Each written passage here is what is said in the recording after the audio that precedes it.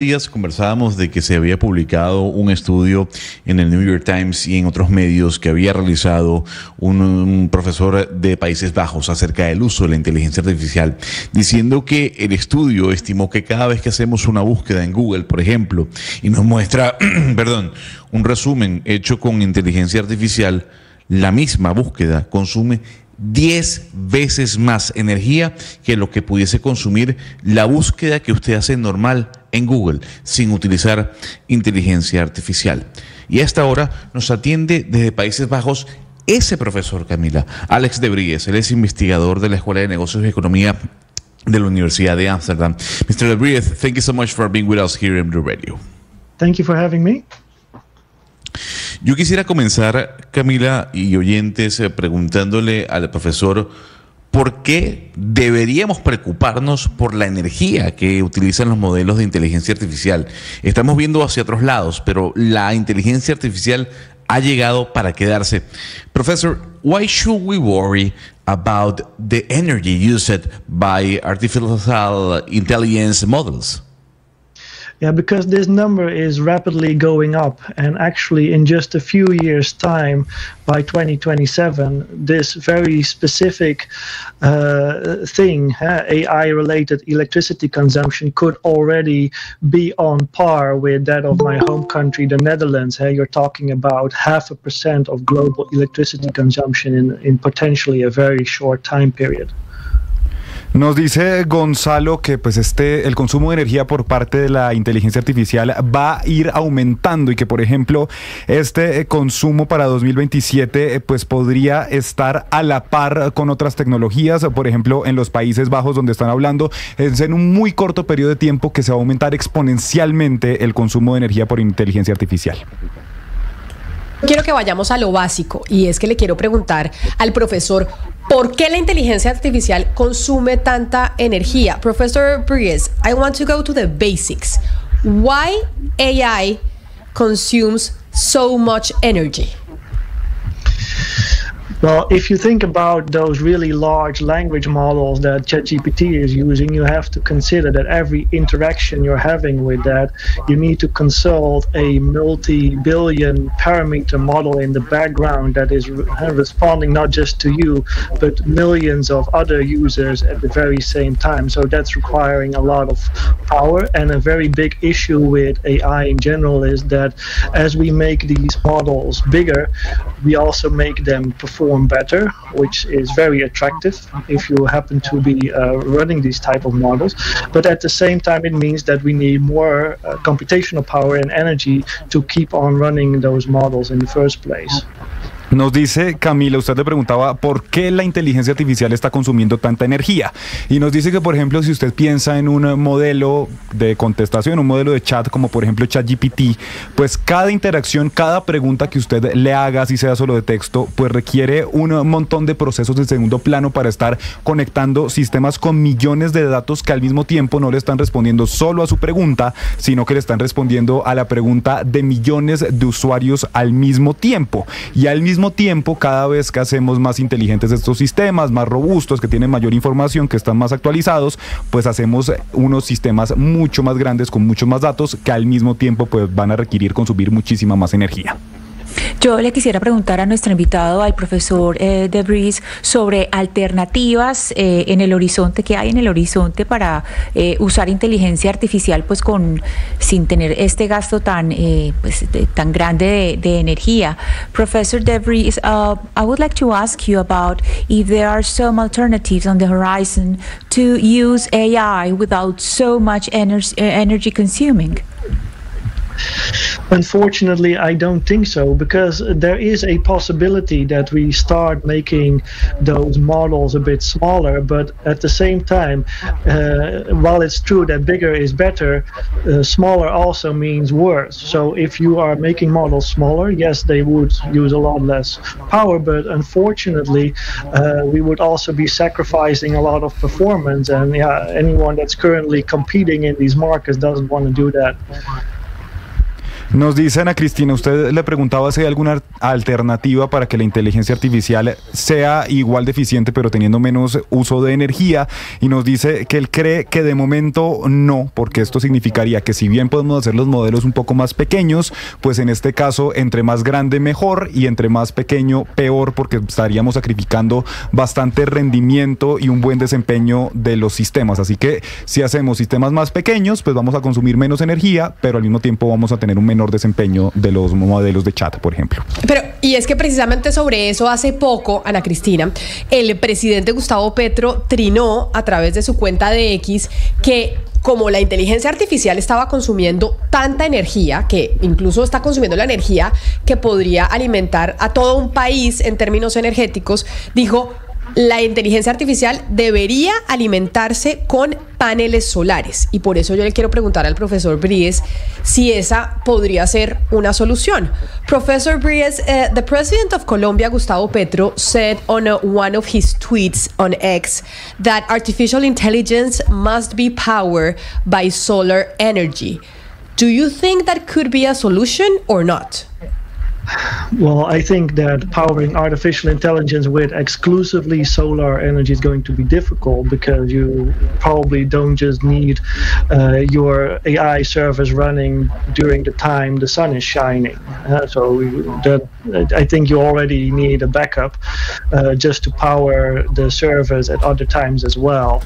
And I think secondly, uh, we can of course we can of course put our solar power in in AI data centers, but the thing is, if we do that, then it also means that probably something else is going to be running on fossil fuels instead. So are we really better off if we do that? That's an open question.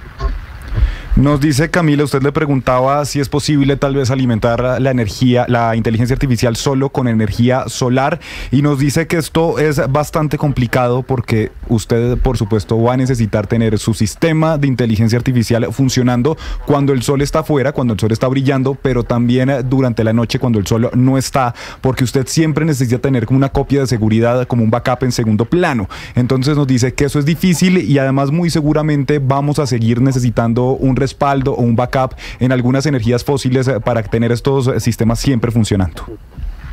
Nuestro invitado ha dicho que Google consume demasiada energía y yo quisiera saber los datos que tiene él con respecto al consumo de energía. ¿Cuánto consume Google en las búsquedas si lo comparamos con un país? Professor, you said that Google search uh, consumes a lot of energy. What data do you have? What numbers? How much energy uh, used Google if we compare with a country? Yeah, so we know that uh, even the CEO of Alphabet has in the past stated that if AI is used for every single Google search, eh, so kind of turning it into a chat GPT for every single Google search, it would mean that every interaction with Google would require 10 times more power. And if uh, at an interaction level, that might not be a lot. Eh? You're talking about maybe 0.3 watt hours that goes up to 3 watt hours per interaction, just to give you an idea that's maybe uh, something like running an LED light for an hour. But at Google scale, you're talking 9 billion interactions a day. And at Google scale, Google in that case would require as much power as Ireland alone to keep running its AI powered search engine. Usted le preguntaba a Gonzalo qué tanta energía consume Google y nos cuenta que, por ejemplo, el CEO el presidente de Alphabet, que es la compañía matriz de Google, ya ha dicho que si para cada búsqueda de Google pasamos a utilizar un sistema de inteligencia artificial como una especie de chat GPT que cada vez que usted, que usted busque le responda, esto requeriría 10 veces cada vez más energía. Entonces, esto pues es complicado y nos dice, usted le pedía compararlo con un país y nos dice que si Google pasara a utilizar cada vez que usted busca un modelo de inteligencia artificial, estaríamos algo así como lo que utiliza Irlanda para tener funcionando a todo su país con energía. Estamos hablando con el investigador de la Escuela de Negocios y Economía de la Universidad de Ámsterdam, Alex Bries, sobre la cantidad de energía que utiliza la inteligencia artificial tan popular por estos días y en medio, Ana Cristina, pues de la crisis energética en la que también estamos nosotros en Colombia, ¿no? Sí, Camila, y también es muy importante entender los conceptos porque el profesor uh, Debris nos habla de, de, ciertos conceptos que, no, que tal vez no son muy claros y ahorita él mencionó pequeños modelos y sobre eso le quiero preguntar, ¿a qué se refiere cuando habla de pequeños modelos? Si pequeños modelos quiere decir eh, menos consumidores o burbujas más controladas de consumidores o si es sobre eh, rangos geográficos más pequeños. Professor Debris, uh, minutes ago you were talking about smaller models, and I, I want to understand what do you mean? Do you mean less customers or uh, smaller bubbles or uh, limited ranges, uh, ge geographical ranges? What do you mean by uh, by smaller models? Yeah, I'm specifically re referring to uh, the amount of parameters that you that's now being used for, uh, for example, the model that's being used by JetGPT. Uh, so really, in the background, you have a multi-billion parameter model, maybe even a trillion parameters, which is a huge number what I'm talking about is decreasing the number of uh, parameters uh, included in the model and maybe also decre- or sorry decreasing uh, the amount of parameters and also decreasing the amount of data that we train uh, those models on. So uh, it's really about the number of parameters used and also the amount of data that's being used. Nos dice Ana Cristina que se refiere específicamente en un modelo pequeño a la cantidad de parámetros que se usa en este modelo. Por ejemplo, pensé en ChatGPT, donde tiene pues un modelo donde por segundo, cada vez que usted le hace una consulta, hay millones y millones de parámetros que están funcionando en segundo plano para poder darle la respuesta. Entonces que cuando habla de modelos pequeños, estaría hablando de un modelo donde se disminuye primero la cantidad de parámetros que están funcionando ahí en el modelo en segundo plano y también la cantidad de datos con los que se entrena ese modelo. Lucas, yo le quiero preguntar al señor Debris acerca de los esfuerzos que está haciendo o no Google y otros gigantes eh, tecnológicos para disminuir esta, este consumo de energía y si podemos confiar en los datos que ellos nos dan. Mr. Debris, have you observed any significant efforts by tech giants like Google to mitigate the energy demands of their AI-powered search technologies? Are they transparent about their energy consumption data?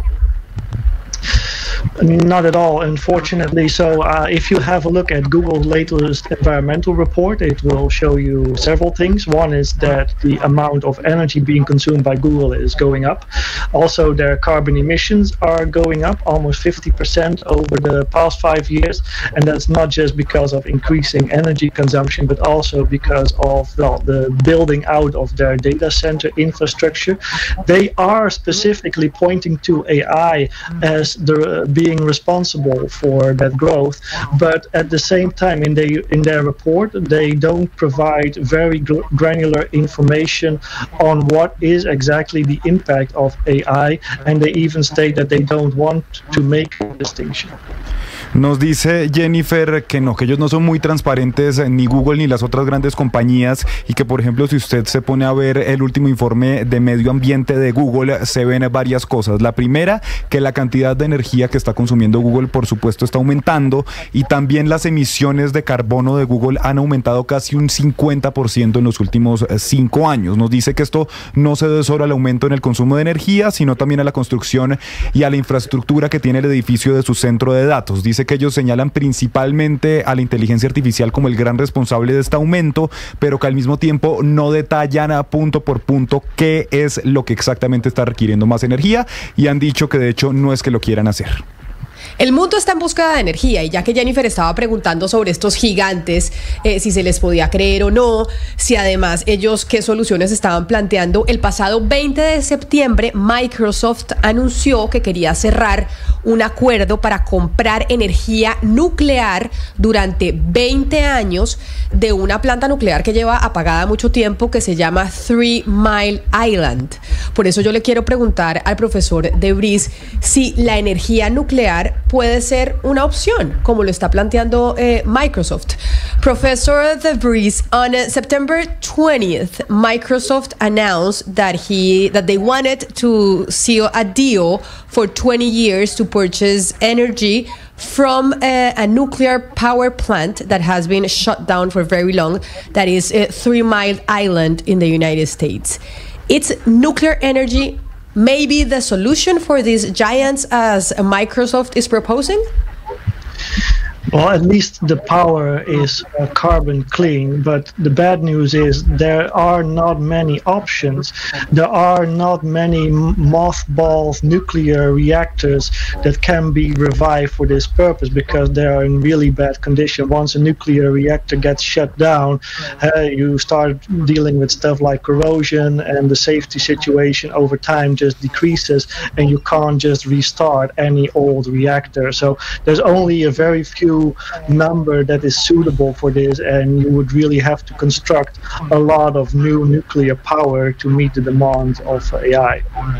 Nos dice Camila que, bueno, pues esta efectivamente es una energía limpia en, de emisiones de carbono, pero que la mala noticia es que no hay muchas opciones, porque en este momento, en el 2024, pues no hay muchos reactores que se puedan revivir para este propósito, porque la gran mayoría de ellos que ya están apagados están en malas condiciones. Y después de que esto pasa, pues empiezan a llenarse de corrosión, empieza a haber cada vez más preocupaciones sobre la seguridad, así que solamente hay muy pocos reactores nucleares en el mundo que realmente podamos como revivir, volver a encender para poder alcanzar a satisfacer toda la demanda que está teniendo la inteligencia artificial. Camila, nuestro invitado también conoce mucho sobre el mundo de las criptomonedas y el uso de la energía de las criptomonedas. Y yo quisiera preguntarle, ¿qué utiliza más energía? ¿La economía digital basada en el Bitcoin, el Ethereum o la inteligencia artificial? Professor, you also know about the energy uh, used in the cryptocurrency. What uses the most energy? The Bitcoin, Ethereum, the digital coins or the in, in artificial intelligence? At the moment, absolutely, cryptocurrency uses uh, a lot more power than artificial intelligence. So, right now, today, uh, Bitcoin alone uses about uh, or consumes about 150 terawatt hours or a little bit more of electrical energy per year, which, for reference, that's like uh, twice uh, the total electricity consumption in a country like, uh, well, Colombia. Um, and AI is really restrained. Uh, over the past year, there has been a lot of bottlenecks in the supply chain of AI servers. So probably right now, AI is responsible for only maybe 10% of what Bitcoin mining alone is responsible for. But I have to add that AI could become uh, equivalent to Bitcoin mining at a pretty short time frame. Nos dice Gonzalo que en este momento tiene mucho más poder las criptomonedas y la economía digital, que consumen mucho más energía, que en este momento Bitcoin solo consume cerca de 150 teravatios por hora, que es cerca el doble del consumo de energía de un país como Colombia, que en este momento obviamente la inteligencia artificial ha ido aumentando su consumo que ha sido menor en los últimos años, pero que en este momento consume algo así como el 10% de lo que consume Bitcoin. Sin embargo, advierte que es cuestión de tiempo y para que en muy poco tiempo se igualen tanto el Bitcoin como las monedas cripto, pues como la inteligencia artificial.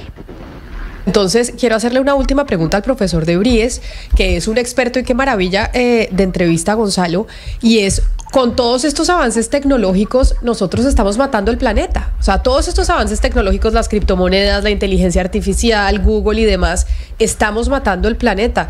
Professor De Vries, then with all that you just said, we can uh, assume or conclude that we're killing the planet with all these technological advances, cryptocurrencies, AI, Google search.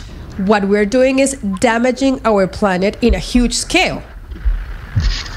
Well, it's absolutely having an impact. Anything that is responsible for driving up our power demand, whether it is cryptocurrency mining or artificial intelligence, is going to bo- to boost uh, the uh, consumption of fossil fuels. And if we consume more fossil fuels, that's ultimately damaging for the climate. Uh, also, think about all the water that we are consuming to power all these technologies. Also, think about the electronic waste that is being produced by this industry because AI servers only last for maybe three years at most, while a regular server would last six to ten years. So there are lots of issues as a result of the increasing uh, growth in this industry. Nos dice Camila que sí, que definitivamente está teniendo un gran impacto en el medio ambiente y que pues cualquier cosa que sea responsable de aumentar la demanda de energía, llámelo criptomonedas, llámelo inteligencia artificial, pues efectivamente está aumentando el consumo de energía, lo que aumenta el consumo, por ejemplo, de combustibles fósiles, eh, que como ya sabemos aumenta pues y afecta al clima, afecta también el consumo de agua. Y también nos dice que hay que preocuparse, por ejemplo, por los desechos electrónicos, porque estos modelos y estos equipos pueden durar por cerca de tres años y ya van siendo reemplazados, entonces que ese es otro aspecto en el que debemos preocuparnos. Well, Professor Alex DeVries, thank you so much for being with us, for your patience, for answering all our questions. It was very interesting talking to you, and I hope your health is better. Is better because uh, I know we had an interview months ago, and you weren't able to talk to us because you were in the hospital. So thank you so much for giving us this time. Thank you for having me. Have a nice day. Have a nice day, Professor.